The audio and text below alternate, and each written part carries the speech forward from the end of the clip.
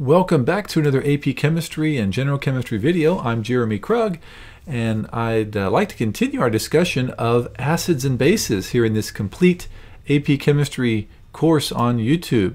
Now, in our last video, we looked at these two equations here, uh, hydronium times hydroxide equals Kw, and how we could go from 1 to this other equation, pH plus POH equals 14. We said that this equation right here is basically the same as that equation right there.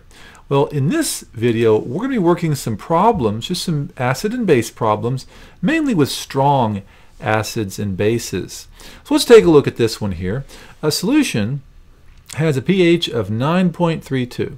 We're going to calculate its H plus concentration. We're going to calculate its POH and its hydroxide concentration. Let's start with part A here.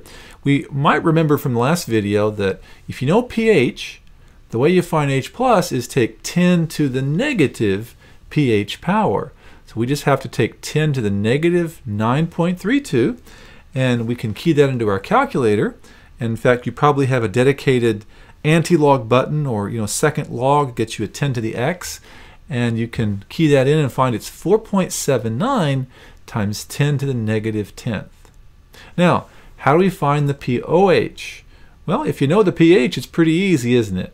pH plus pOH equals 14. So all we have to do is plug that uh, 9.32 here in for pH right there. And we're going to get that uh, basically 14 minus 9.32 is equal to our pOH, which is 4.68. Now, once we know uh, POH, we can figure out the OH minus concentration pretty easily, can't we?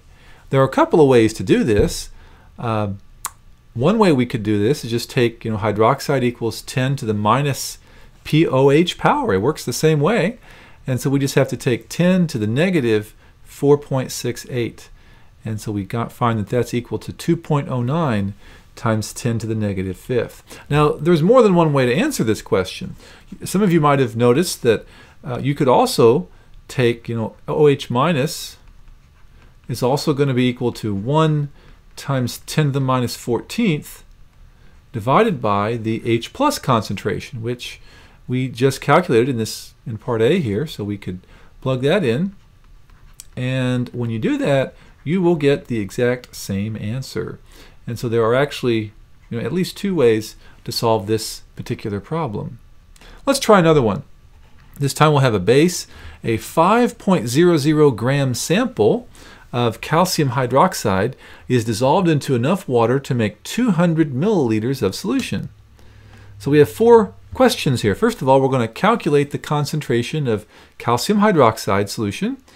B, we're going to calculate the concentration of hydroxide ion in solution. In part C, we're going to calculate the concentration of H plus ions in solution. And part D, we're going to find the pH of this solution. Now, part A is, is just a very simple solution chemistry, a solution stoichiometry question.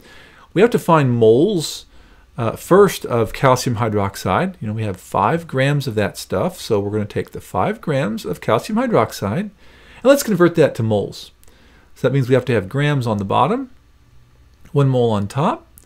We can add up the individual molar masses on the periodic table, and the molar mass is about 74.09 grams in a mole of this. So when I uh, cancel grams and divide, I get that there are 0.0675 moles of calcium hydroxide. Now concentration is moles per liter, isn't it? So how many liters of solution do we have?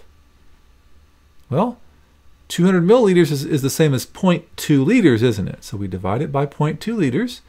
And the molarity of calcium hydroxide, our answer to part A, is about 0.337 molar. So we have our answer to part A. Now, what about part B?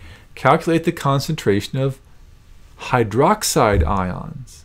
Well, we can take a look at the mole ratio here and notice that if we put calcium hydroxide on the bottom and hydroxide on the top, there are two hydroxides for every calcium hydroxide. And we know that because there's a little 2 right here, isn't there? That 2 tells us that there are two hydroxides in every one formula unit of calcium hydroxide. So if I cancel and multiply, I find that the molarity of hydroxide is actually twice what the molarity of calcium hydroxide was. It's 0.674 molar hydroxide. So we have parts A and B answered.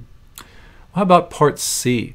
Let's find the H plus uh, concentration. Well, if we know the hydroxide concentration, then we can plug it into this equation right here. And our 0.674 is going to go right in, whoops, going to go in right here for hydroxide. Almost put it in the wrong spot. And now we just have to take 1 times 10 to the minus 14th divide by 0.674. So our hydrogen ion concentration is really small.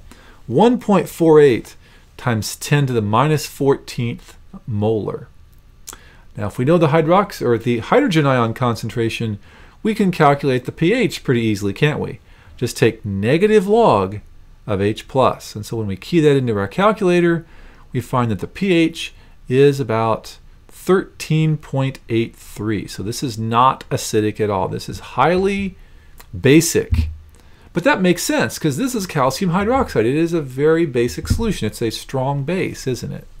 As we learned earlier in this lesson. Let's do one more problem before we stop for this video. Let's say we have a student who combines 100 milliliters of 0.5 molar hydrogen, or HCl, hydrochloric acid, with 200 milliliters of 0.3 molar nitric acid. Assuming that the volumes are additive, calculate the pH of the resulting solution. Now some students have a little trouble with these kinds of problems. Don't make them more difficult than they need to be. Remember that the way this works is we have one acid over here and we have another acid, acid over here and each of those acids is contributing a very specific number of moles of H plus ions. All right, so what we have to do is take the number of moles of H plus ions for both of those, add them together, and then divide by the total volume of solution. So let, us do that. Let's find how many moles of H plus are coming from the HCl. So what we have to do here is we take the 0.1 liters times 0.5 moles per liter. You multiply that, and it's 0.05 moles of H plus. That's uh, coming from just the hydrochloric. Now, how much H plus is coming from the nitric? Well, we got to do the same thing. This time we have to take 0.2 liters times 0.3 molar. So when you do that, you get 0.06 moles of H plus. So we have these two amounts of moles of H plus. What's the total number of moles of H plus? Well, I'll just add them together. So 0.05 plus 0.06 is 0.11. So we have a total of 0.11 moles of H plus. Now we have to divide that by the total volume. What's our total volume? Well, we had 100 milliliters here, and we had 200 milliliters over here. That's a total of 300 milliliters. They're additive, aren't they? So 300 milliliters or 0.3 liters total volume. When you divide that, we find that the molarity is about 0.367 molar of H+. plus.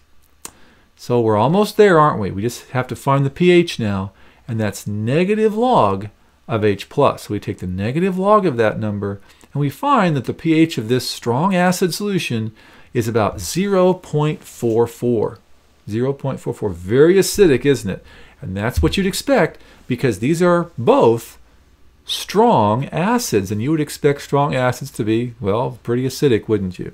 Well, I hope you learned something about how to solve uh, strong acid pH problems here uh, and some uh, uh, some problems with, uh, with a strong base as well. If you learned anything from my video, if you'd please be so kind as to hit that thumbs up button. That way YouTube will share this video with some other chemistry students as well.